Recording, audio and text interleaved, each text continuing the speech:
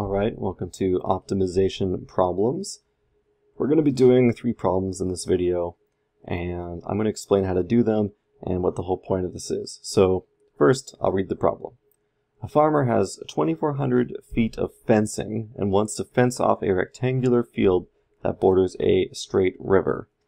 So if I draw this picture, we have some field there, and we want to build a nice fence around a field. But we only have 2,400 square feet of this fence. So maybe we have 1,200, 600, and 600, or we might have another combination. Let's say we have 1,500, and that means that we have 900 left over, so we do 450 and 450. And we want to find which dimensions we can make the largest field with. So we want to maximize the area of the field while using only 2400 feet in our perimeter. So how do we do this? Well, like always, same with related rates, we need to use two functions.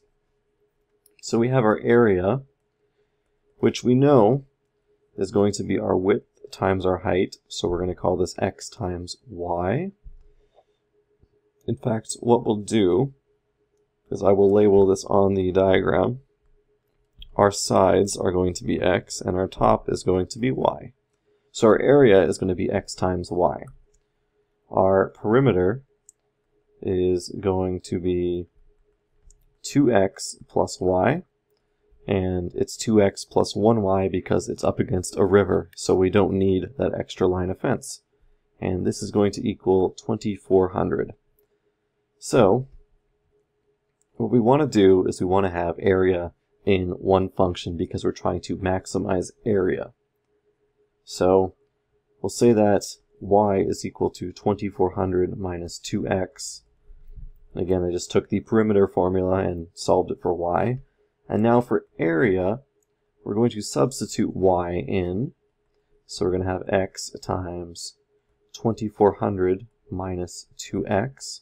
So this is now going to equal 2400x minus 2x squared.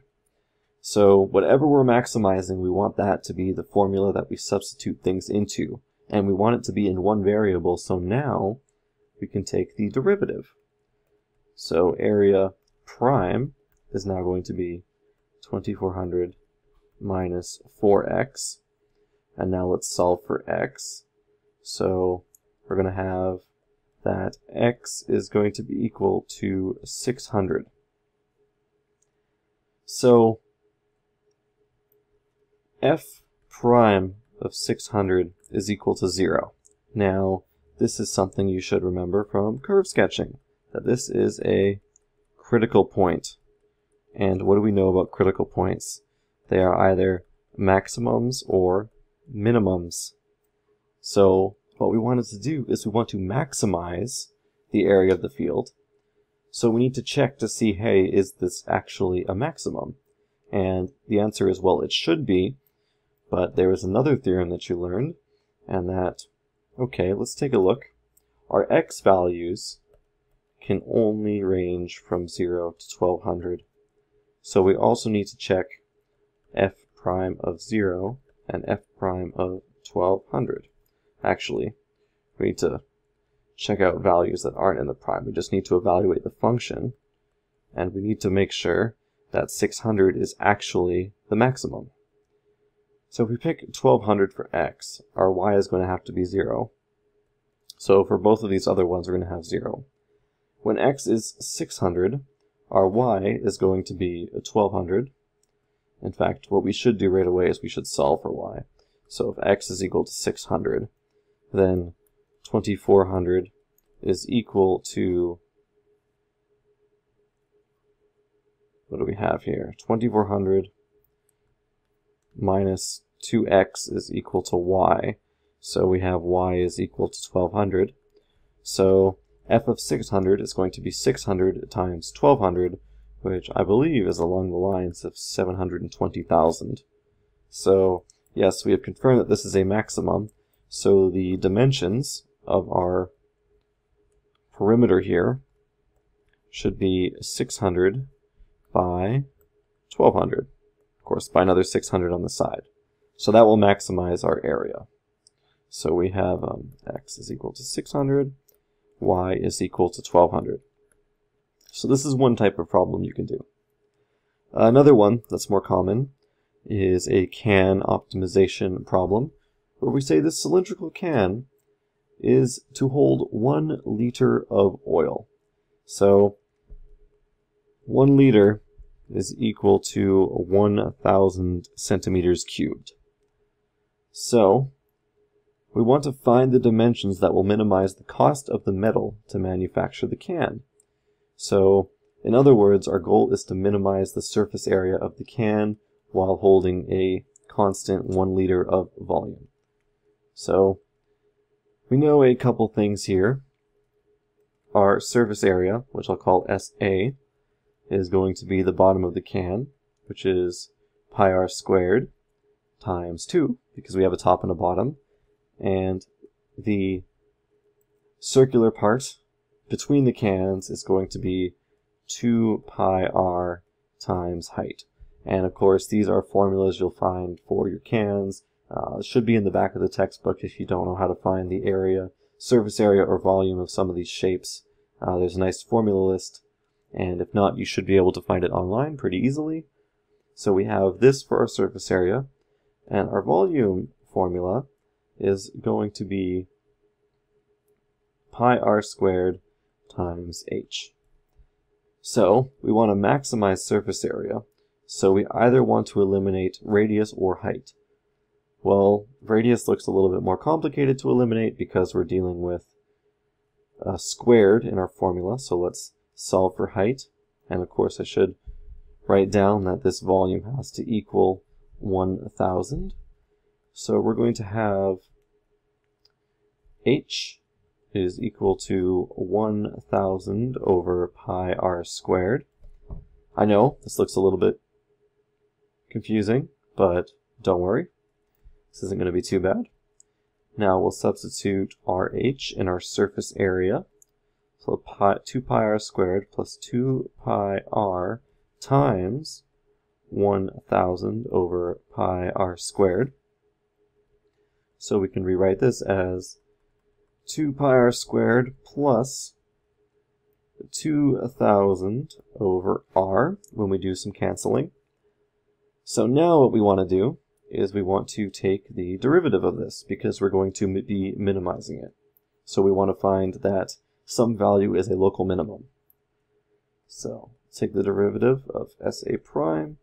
So this will be 4 pi r, and this will then be minus 2000 over r squared.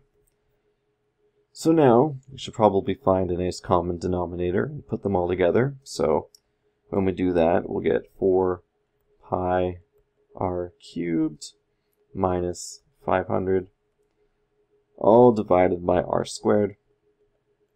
So I just picked a common denominator and then I simplified it and of course I factored out the 4 so now what we have is we need to find when SA prime is equal to 0. So how do we find it equal to 0? Well, we want pi r cubed minus 500 to equal 0. So this is when pi r cubed is going to equal 500. So when we solve for r here, we're going to get r is equal to 500 over pi, and we need to take the cubed root of this. So it is a little bit messy. However, what you do here is you then check this value and the extreme values. So of course you probably pick r is equal to 1 and r is equal to, well really, r is equal to 0. And then you would pick another value, which would be r is equal to 100 divided by pi would be probably the greatest value you could use. Check those, and you will see that this value of r here, the cubed root of 500 over pi, is going to have the smallest value, which means that you have thus minimized your surface area. So if you had to pay for your metal, then having a radius of this size in centimeters, of course, is going to be the best possible size you can use to save the most amount of money when creating cans that hold exactly one liter. So that is your second type of optimization problem, given a shape or a circle or a cylinder or something finding a nice radius. So that way the volume is constant, but you have a smaller surface area. One more problem that we'll do in this video is going to be a parabola question. So we need to find a point on a parabola that is closest to some other point. So what you want to do here is essentially when we say it's closest to the point, what we're doing is we're minimizing the distance between the curve and some other point. So we have this distance function, which is kind of like Pythagoras, where we're going to take our x value, and we'll subtract this x value here, plus our y value, minus uh, this value here. Of course, we need to square them. So we kind of have this uh, Pythagoras triangle result. This, in fact, would be if we take this distance to be x minus 1 and this distance to be y minus 4. We're finding this distance right here, which of course would be the closest if we have 1, 4, and we have our curve y equals x squared, or sorry, that would be y is equal to 2x. What we're finding is the shortest distance between the two points. We don't know what the point is, so that we have this function now. And what we should do is we should take uh, this formula and solve for, say, y. So, we're going to have that. So let's solve for x. x is going to be y squared over 2. Okay, so now in this distance formula, Let's replace all x's with y squared over 2. So we have the square root of y squared over 2 minus 1 all squared plus y minus 4 squared. So here's the fun part, which I'm sure you probably don't find too much fun. We now need to minimize the distance, so we need to take its derivative, and I will speed through this really quick. We'll end up with y cubed minus 8 over the square root of y to the fourth minus 32y plus 68. Honestly, if you're doing a homework problem, I would just plug this into Wolfram Alpha, find the derivative, and then go from there. So, of course, we want to find where this distance prime is equal to 0. So, we have y cubed minus 8 is equal to 0, when y cubed is equal to 8, which means that y is going to equal 2. Okay, and if y is equal to 2, then we have 4 is equal to 2 times x, so we have x is equal to 2. So we can claim that 2, 2 is going to be the closest point on the parabola to the point 1, 4. And of course, what you should do is you should check uh, 0, 0, and you should probably check um, the value. Let's see, x is going to be 1, and then if we get 1, we'll have the square root of 2. You need to check uh, quite a few points, but if you've done everything right, there's a very good chance that this uh, should be the correct answer. So those were three optimization problems. Next video we're going to tackle two more. One I will do for you, and then another one you can try by yourself, and then we'll go through. So hopefully this wasn't too bad. If you have any questions, write them in the comments, and I will get to them as quickly as possible.